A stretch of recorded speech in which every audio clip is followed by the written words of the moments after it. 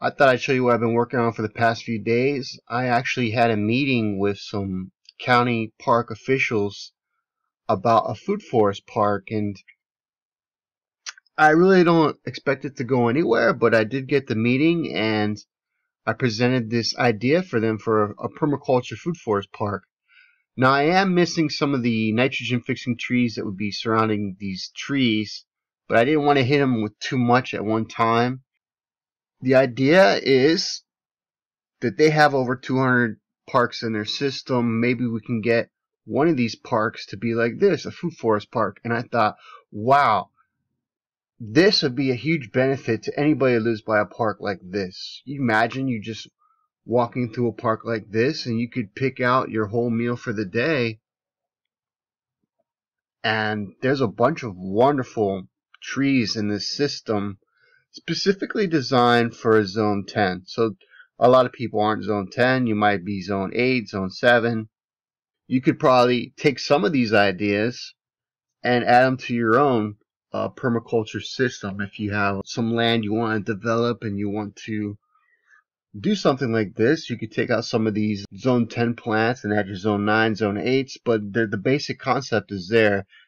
The idea is that in a flatland, you have your ponds in the northern part, and they're stocked with fish, and the excrement would be going through the swales. The swales are designed to hold moisture in the soil so you could go long periods of time without rain. So the idea here is to have permaculture systems set up where it's self-sustaining, where it could survive on its own for several years without much having to be done to into the system. So you're not having to put herbicides in there. You're not having to add pesticides for bug control because it's a diverse system we're bringing in insects that will control other insects. And since you have such a diverse system, you're not having one insect that can take over your whole system and ruin it, which is a monoculture system. And that's a great thing about a permaculture system when you have a diverse food forest is that there's always something in production. There's always something that's available that you can eat there, which is great. The idea of the fish ponds is you're going to have lots of fish to eat. You're going to have fertilization from the fish pond fertilizing your fruit trees on the swales. And the swales are designed to capture water, to keep that water inside of your system and not just move off the property. The idea I had was to have moringa around the fish ponds because what moringa does is makes these wonderful seed pods that the seeds, when they break down, they actually help filter the water inside of the fish pond. So you can remove some of the contaminations and keep the fish pond healthy. Those would actually move around the swale and it would be like a filtering process. Be nice to have the bananas around the fish pond because bananas like a lot of water. Same with coconuts, they love a lot of water. And also the idea is to have worm casting bins because worms make excellent fertilizer. We have the bunya nut in there, which makes these huge cones, which you're getting a very tasty nut. The shells are also great for cooking meat. We have carob in this system. Carob is wonderful. Carob, it's a chocolate substitute, and also carob is very good for flus, sore throats. We have custard apple. Custard apple is delicious. Neem. Growing neem, you can make insect repellent with it. It can actually remove harmful parasites from the body. I know in India they make toothbrushes with it. Great for your teeth. Ice cream bean is excellent. It goes by several names, but basically it's a seed pod and it's surrounded by this cotton material that tastes like almost like a cotton candy. Cocoa. Cocoa grows very good underneath the ice cream bean. Cocoa, most of it's produced around the equator, but some of it can grow in zone 10 under the right conditions. Lychee. Lychee works in zone 10. It's very delicious fruit. Now, as you can see here, Barbado cherry. Barbado cherry is loaded with vitamin C. You can actually even eat the fruit green, and it still tastes good. Now the idea here is around the greenhouse is to have some Bolivian sunflower growing. And that's a good chop and drop plant. It's like a green fertilizer. Same with pigeon pea. Uh, Bolivian sunflowers are nice. They can grow up to 20 feet tall. Be great to have weeping willow just to have it for, that's where they get aspirin from, but it, they make a synthetic derivative out of it. But with weeping willow, it's, uh, I mean, that's what the Indians use for pain management. But also another great, great thing about weeping willow is it's a rooting hormone. So you could take cuttings, you can make roots with the weeping willow. Idea is also have passion fruits on the fence line. You see a lot of people, they spray crap around their fence to get rid of vines. But instead of doing that, just have passion fruits grow on your fence line. We're going around guanabana. Guanabana leaves, very good cancer treatment. Also, the fruit tastes amazing. It's like a pineapple and an apple thrown together. Very delicious. Mango. There's about 150 varieties of mangoes. Florida Grande Peach doesn't need that many chill hours. I think it's about 50 chill hours or 100 chill hours, and you can get peaches in uh, South Florida. Hog plum.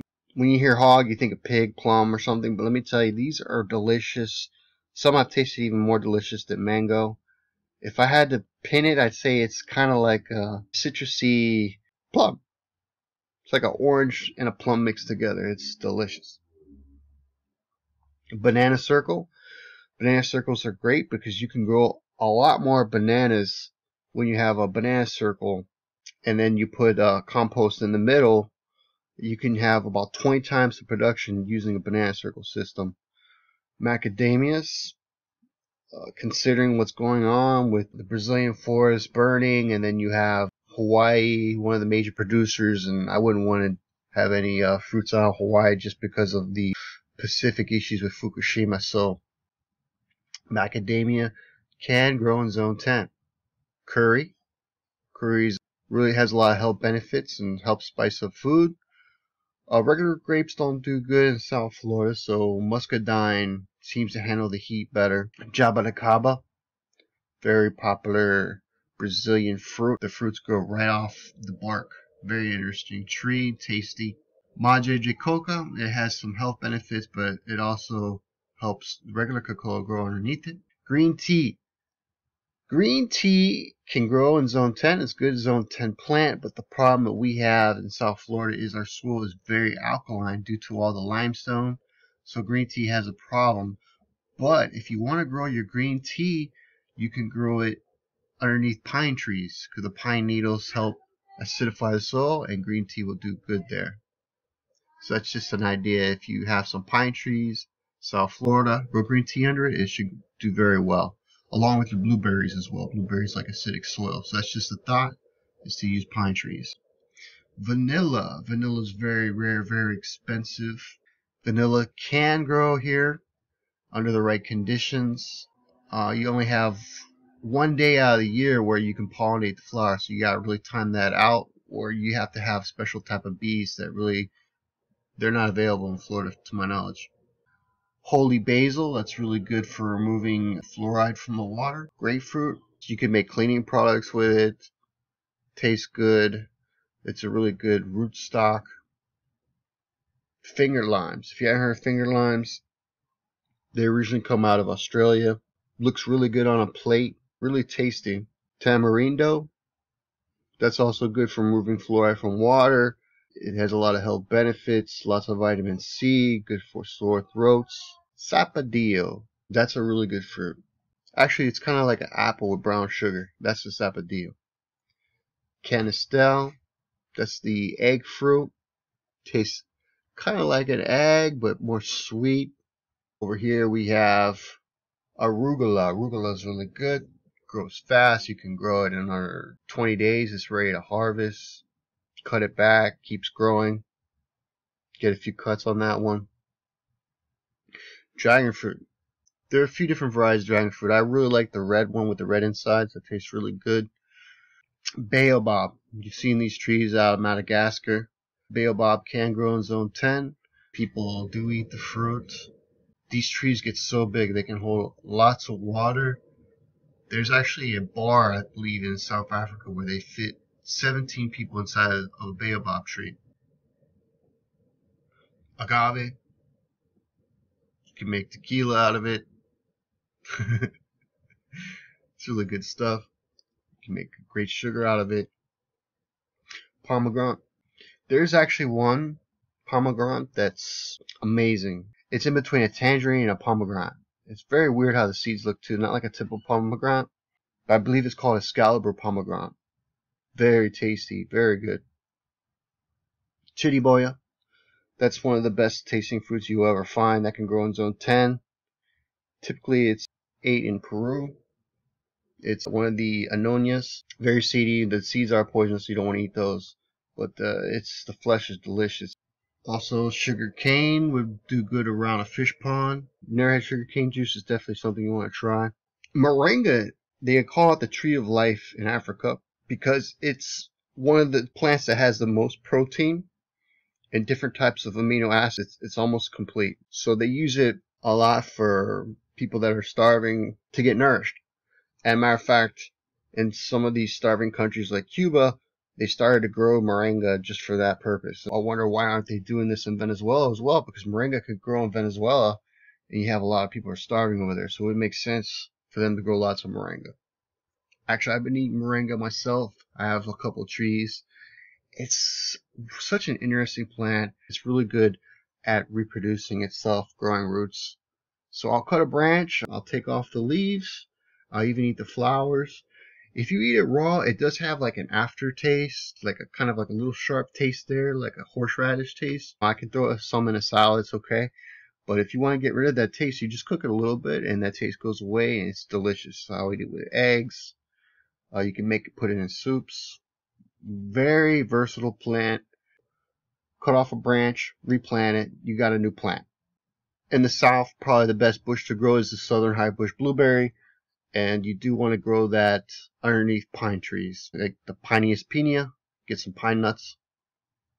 Miracle fruit. Miracle fruit is also out of Africa, but it does need acidic soil. But you could grow that underneath pine nut trees.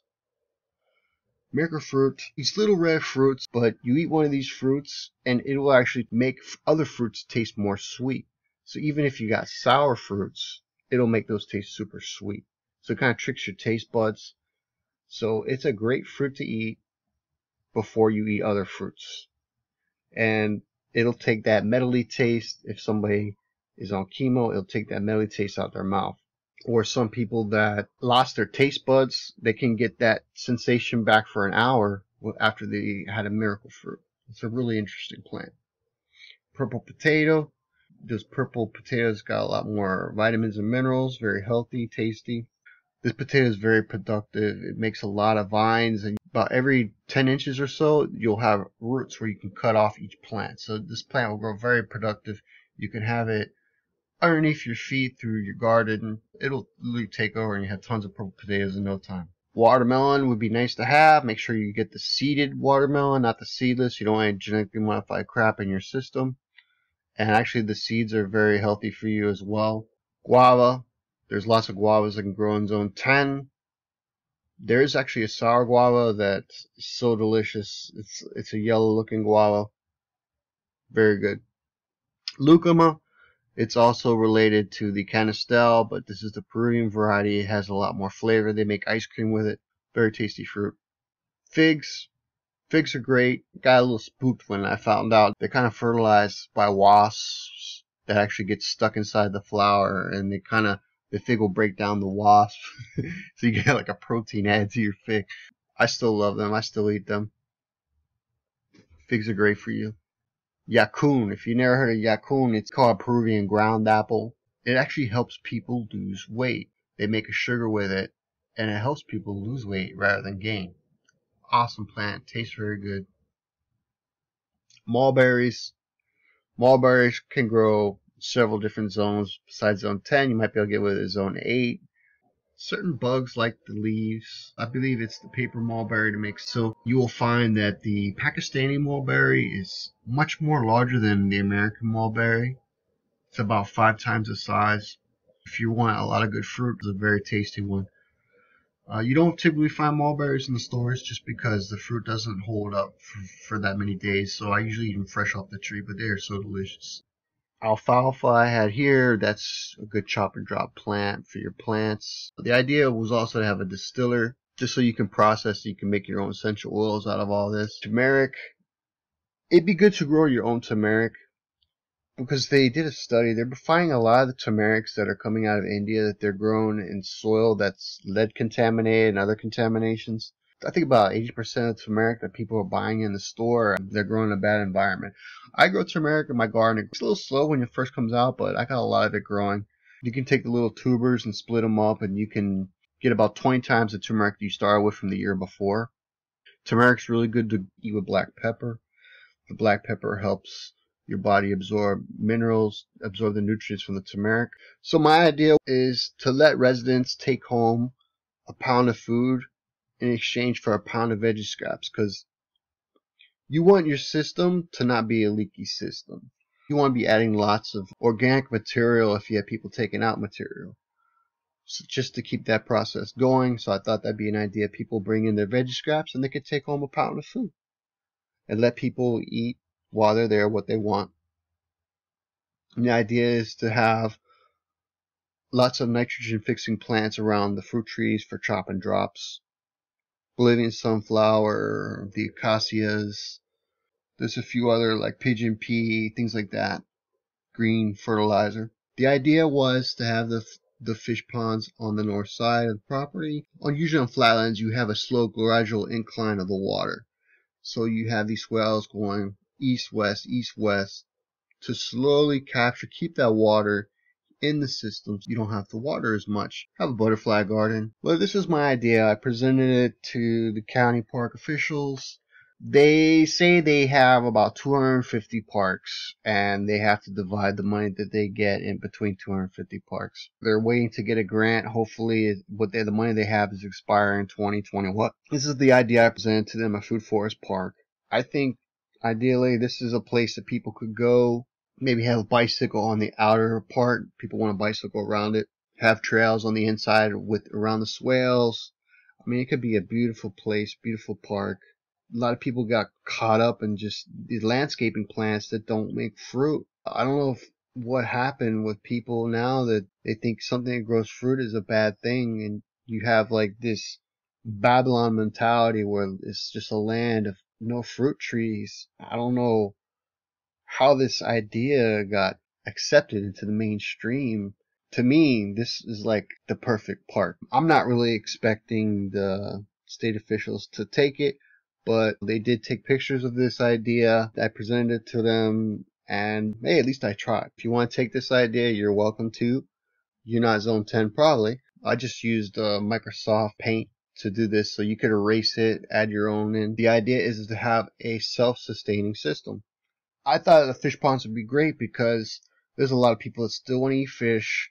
They don't want to eat fish out of the, the oceans, and you'd rather have safe fish. You don't want a, a farm raised fish, but this would be different than a farm raised fish because you're not feeding the fish a bunch of crap the moringa is actually really good. It falls in the water. The fish could eat that moringa, and you have some super powerful, healthy fish. And that is the idea. You don't want a crowded system. Like to thank you for looking at this idea. And like I said, you're welcome to take it and run with it. Show me some pictures. Show me what you did. Show me if you got a food forest. Comment down below and share some links. I'd love to see it. See what you're doing. Thanks for watching this video. Be sure to like and subscribe. And I'll see you soon.